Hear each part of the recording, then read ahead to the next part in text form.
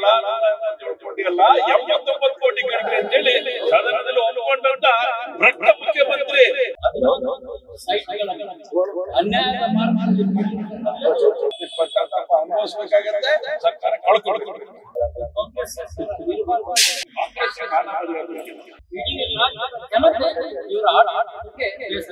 ನಾವೇನು ಮಾಡಿಲ್ಲ ನಾವೇನು ಮಾಡಿಲ್ಲ ಅಂತ ಹೇಳಿ ಇಡೀ ಊರಿಗೆ ಹೇಳ್ಕೊಂಡು ಹೋಗುವಂತ ಪ್ರಯತ್ನ ಮಾಡ್ತಾರೆ ಈ ನಮ್ಮ ಪಾದಯಾತ್ರೆ ಯಶಸ್ವಿ ಪಾದಯಾತ್ರೆ ಮೂರನೇ ದಿನಕ್ಕೆ ಮೈಸೂರು ಚಲೋ ಜೊತೆ ಮಾತಾಡೋಕ್ಕಾಗಿ ಈಗಾಗಲೇ ಹರಿಹರ ಶಾಸಕರು ಗಣೇಶ್ ಅವರಿದ್ದಾರೆ ಸರ್ ನಮಸ್ತೆ ಮೊದಲನೇದಾಗಿ ಪಾದಯಾತ್ರೆ ಏನು ಭರ್ಜರಿ ಆದಂತ ಈ ಒಂದು ವಿಶ್ವದ ನಡುವೆ ಕೂಡ ಬಿರುಸಿಂದ ಸಾಗ್ತಾ ಇದೆ ಈ ಪಾದಯಾತ್ರೆ ಹಾಗೆ ರಾಜ್ಯ ಸರ್ಕಾರದ ಸಾರ್ವಜನಿಕರ ಈ ಉತ್ಸಾಹವನ್ನು ನೋಡಿದಾಗ ಕರ್ನಾಟಕದ ಜನತೆಗೆ ಸಿದ್ದರಾಮಯ್ಯನವರ ಈ ಒಂದು ಕಾಂಗ್ರೆಸ್ ಸರ್ಕಾರ, ಸರ್ಕಾರದ ಪ್ರಾರಂಭ ಹಂತದಿಂದ ಗಿರಿಜನ ಬಂಧುಗಳ ಹಿಂದುಳಿದ ಅಲ್ಪಸಂಖ್ಯಾತರ ಹಣವನ್ನ ಈ ಗ್ಯಾರಂಟಿಗೋಸ್ಕರ ನೀಡ್ತಾ ಬಂದಿದ್ದು ಕೂಡ ನೋವನ್ನು ಉಂಟು ಮಾಡಿದೆ ನಂತರ ದಿನಗಳಲ್ಲಿ ಎಸ್ ಟಿ ಅಭಿವೃದ್ಧಿ ನಿಗಮದ ಸುಮಾರು ನೂರ ಎಂಬತ್ತೇಳು ಕೋಟಿ ಹಣವನ್ನ ವೈಯಕ್ತಿಕ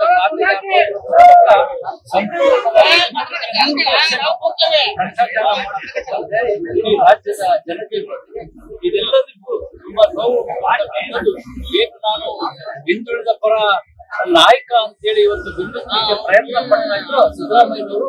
ಇವತ್ತು ಒಬ್ಬ ಹಿಂದುಳಿದ ಹರಿಜನರ ಒಂದು ಜಮೀನಲ್ಲಿ ಅವರು ವಶಪಡಿಸಿಕೊಂಡು ಇವತ್ತು ಮೂಡದಲ್ಲಿ ಸುಮಾರು ಹದಿನೊಂದು ಸೈಟ್ಗಳನ್ನ ಅನ್ಯಾಯದ ಮಾರ್ಗದಲ್ಲಿ ಇಡೀ ರಾಜ್ಯದ ಜನತೆ ವಿರೋಧಿಸ್ತಾ ಇವತ್ತು ಸಾರ್ವಜನಿಕರ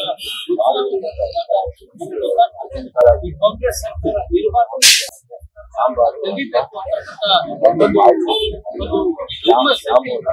ಜನತೆ ಇದೆ ಬರೀ ಭಾರತೀಯ ಜನತಾ ಪಕ್ಷದ ಕಾರ್ಯಕರ್ತರಾಗಿ ಜೆಡಿಎಸ್ ಕಾರ್ಯಕರ್ತರಲ್ಲ ಇಡೀ ರಾಜ್ಯದ ಜನತೆ ಇವರ ಆಡಳಿತ ಬಗ್ಗೆ ಬೇಸರ ಇದೆ ಆ ಕಾರಣ ಈ ಒಂದು ಪಾದಯಾತ್ರೆ ಯಶಸ್ವಿಯಾಗಿದೆ ಸರ್ ಎರಡ್ ಸಾವಿರದ ಹತ್ತರ ಸಂದರ್ಭದಲ್ಲಿ ಆಗಸ್ಟ್ ಬಳ್ಳಾರಿ ಪಾದಯಾತ್ರೆಯನ್ನ ಕೈಗೊಳ್ತಾರೆ ಸಿದ್ದರಾಮಯ್ಯ.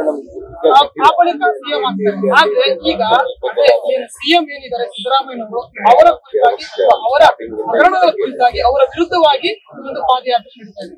ಸೊ ಆ ಒಂದು ಪಾದಯಾತ್ರೆ ಈ ಒಂದು ಪಾದಯಾತ್ರೆ ನೋಡಿ ಈ ಒಂದು ಪಾದಯಾತ್ರೆ ಸಂಪೂರ್ಣವಾಗಿ ಕಾಂಗ್ರೆಸ್ ಸರ್ಕಾರ ಭ್ರಷ್ಟಾಚಾರದಲ್ಲಿ ತೊಡಗಿರ್ತಕ್ಕಂಥ ಕಾರಣದಿಂದ ಈ ನಮ್ಮ ಪಾದಯಾತ್ರೆ, ಯಶಸ್ವಿ ಪಾದಯಾತ್ರೆ, ಅವರ ಪಾದಯಾತ್ರೆ ಕೆಲವೇ ವ್ಯಕ್ತಿಗಳಿಂದ ಕೂಡಿರ್ತಕ್ಕಂಥದ್ದು ಇವತ್ತು ನಮ್ಮ ಪಾದಯಾತ್ರೆ ಬೆಂಗಳೂರಿಂದ ಮೈಸೂರು ತನಕ, ಇವತ್ತು ದಾರಿ ಉದ್ದಕ್ಕೂ ಕೂಡ ಜನತೆ ಕಾಂಗ್ರೆಸ್ ಸರ್ಕಾರದ ವಿರುದ್ಧ ಪ್ರತಿಭಟಿಸ್ತಾ ಇದೆ.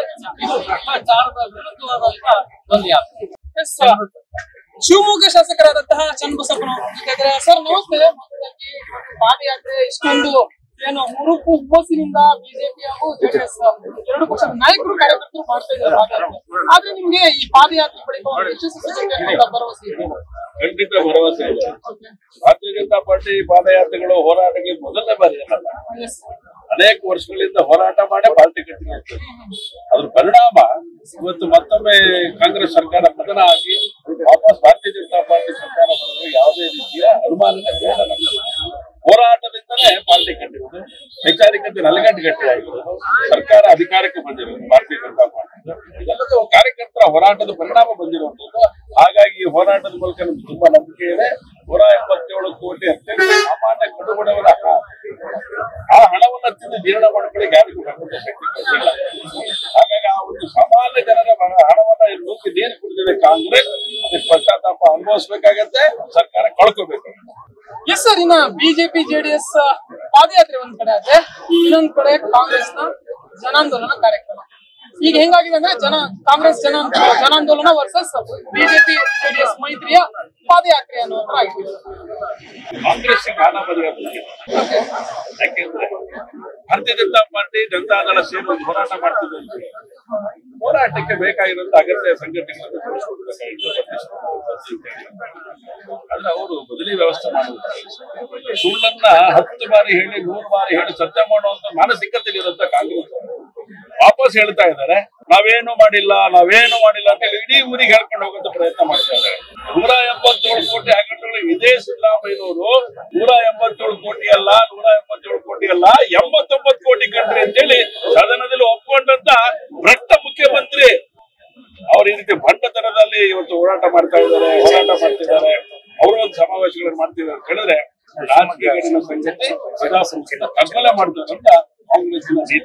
ಸರ್, ಎಲ್ಲೋ ಒಂದ್ ಕಡೆ ಕಾಂಗ್ರೆಸ್ ನಾಯಕರು ಹೇಳ್ತಾ ಇರುವಂತದ್ದು ಯಾವುದೇ ಕಾರಣಕ್ಕೂ ನೀವು ಎಷ್ಟೇ ಏನು ಪಾದಯಾತ್ರೆ ಮಾಡಿ ಯಾವುದೇ ಏನು ಯಾವುದೇ ಬೇಕಿದ್ರು ಸಮಾವೇಶ ಮಾಡಿ ಏನೇ ಮಾಡಿ ನಮ್ಮ ಸರ್ಕಾರವನ್ನು ಅಲ್ಲಾಡಿಸಕ್ಕಾಗಲ್ಲ. ನಮ್ಮ ಶಾಸಕರ ಕೂದಲು. ಡಿ ಕೆ ಶಿವಕುಮಾರ್ ಅವರು ಮಾತು ಹಾಗೆ. ಸರ್ಕಾರ ಅಲ್ಲಾಡ್ಸಕ್ ಹೋಗ್ತಾ ಇಲ್ಲ ನಾವು ಯಾವತ್ತೂ ಕೂಡ ವಚನ ಪ್ರಶ್ನೆ ಪ್ರಜಾಪ್ರಭುತ್ವದ ವ್ಯವಸ್ಥೆಯಿಂದ ಬುಡಮೇಲ್ ಮಾಡುವಂತ ಕೆಲಸವನ್ನ ಕಾಂಗ್ರೆಸ್ ಇಂದಿರಾ ಗಾಂಧಿ ಕಾಲದಿಂದ ಮಾಡ್ಕೊಂಡು ಬಂದಿರುವಂತದ್ದು. ಅವತ್ತು ಕೂಡ ನ್ಯಾಯಾಲಯ ಹೇಳಿದ್ರು ಕೂಡ ಆದೇಶವನ್ನ. ನೀವು ಗೆದ್ದಿರುವಂತದ್ದು ಅಕ್ರಮ ಅಂತ ಹೇಳಿ. ಆದ್ರೆ ಪರಿಸ್ಥಿತಿ ಮೇಲೆ ಅಧಿಕಾರ ಕಂಡು ಅದೇ ನೀತಿ ಒಳಗಡೆ ಇವರು ಇರುವಂತದ್ದು. ಸೊ ಹಾಗಾಗಿ ಇವತ್ತು ನಾವೆಲ್ಲ ಭ್ರಷ್ಟಾಚಾರ ಮಾಡಿದೀವಿ. ಹೌದು, ಸದನದಲ್ಲೂ ಒಪ್ಕೊಂಡಿದ್ದಾರೆ. ಆದ್ರೆ ನಾವೇ ಅಧಿಕಾರದಲ್ಲಿ ಇರ್ತೀವಿ ಅಂತ ಹೇಳ್ತಾ ಇದ್ದಾರೆ ನಾವೇನ್ ಹೇಳ್ತಾ ಇದ್ದೀವಿ ಭ್ರಷ್ಟಾಚಾರ ಮಾಡಿರುವಂತ ಒಬ್ಬ ವ್ಯಕ್ತಿ, ನೀತಿ ನಿಯಮ ಇಲ್ಲದೆ ಇರುವಂತ ಒಬ್ಬ ವ್ಯಕ್ತಿ, ಸಂವಿಧಾನ ಬಾಹಿರವಾಗಿ ನಡ್ಕೊಳ್ಳುವಂತ ವ್ಯಕ್ತಿ ಅದೇ ಕಾರಣ ಆ ಚೇರು ಹಿಡ್ಕೊಂಡು, ಆ ಚೇರಿನ ಗೌರವ ಉಳಿಸ್ಬೇಕು ಹೇಳಿ ಭಾರತೀಯ ಜನತಾ ಪಾರ್ಟಿ ಹೋರಾಟ ಸರ್ಕಾರ ತೆಗಿಬೇಕು ಅಲ್ಲ ನಮ್ದು ಭ್ರಷ್ಟ ವ್ಯವಸ್ಥೆ ವ್ಯತ್ಯಾಸ ಆಗಬೇಕು. ಯಾರು ಮುಖ್ಯಮಂತ್ರಿಗಳು ಭ್ರಷ್ಟಾಚಾರಗಳಿಗೆ ತೊಡಕೊಂಡಿದ್ದಾರೆ ಯಾರು ಅದಕ್ಕೆ ರಕ್ಷಣೆ ಕೊಡ್ತಾ ಇದ್ದಾರೆ ಅಂತವರು ಇವತ್ತು ಆ ಇರಬಾರ್ದು. ಇದು ಭಾರತೀಯ ಜನತಾ ಪಾರ್ಟಿ.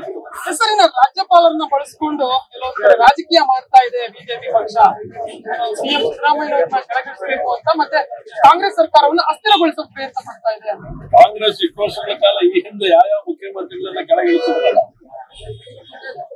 ರಾಜ್ಯಪಾಲ ಉಪಯೋಗ ಮಾಡ್ಕೊಂಡ ಮಾಡಿದ್ರು ಅವ್ರು ಮಾಡ್ತಾರೆ ಅಂತೇಳಿ ಭಾರತೀಯ ಜನತಾ ಪಾರ್ಟಿ ಮಾಡ್ತಾ ಇಲ್ಲ ನಾವು ಮಾಡಕ್ ಹೊರಟಿರುವಂತದ್ದು ಮುಖ್ಯಮಂತ್ರಿ ನಾವು ರಾಜ್ಯಪಾಲರಿಗೆ ಈಗಾಗಲೇ ನಾವು ನಾವು ಕೂಡ ಮನವಿಯನ್ನು ಸಮರ್ಪಣೆ ಮಾಡಿದ್ವಿ ನಾವೆಲ್ಲ ಶಾಸಕರು ಹೋಗಿ ಒಟ್ಟಿಗೆ ಹೋಗಿ ಒಂದು ಭೇಟಿ ಮಾಡಿ ಹೇಳಿ ಬಂದಿದ್ದೇವೆ ನೂರ ಎಪ್ಪತ್ತೇಳು ಕೋಟಿ ವಾಲ್ಮೀಕಿ ನಿಗಮದ ಹಗರಣ ಇಲ್ಲದೆ ಇದು ಬಹಳ ಭಾರಿ ಭ್ರಷ್ಟಾಚಾರ ಆಗಿರುವುದು ಅಷ್ಟೇ ಅಲ್ಲ ಹಗರಣ ನಾಲ್ಕೈದು ಸಾವಿರ ಕೋಟಿ ಹಗರಣ ಇದು.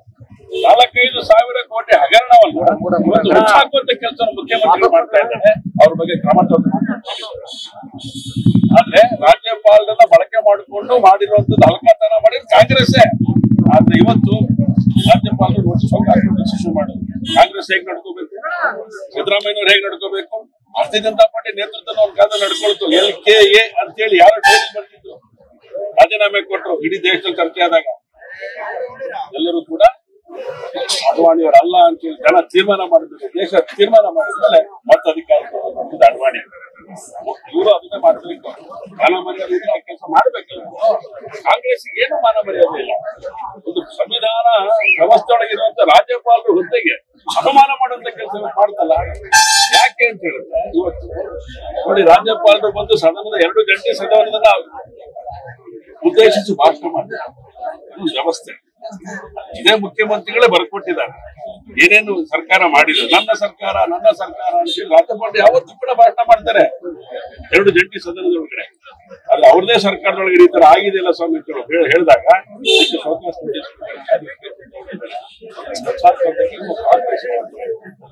ದೊಡ್ಡದಾದಂತ ಇಡೀ ದೇಶದೊಳಗೆ ಯಾವುದೇ ರಾಜ್ಯದಲ್ಲಿ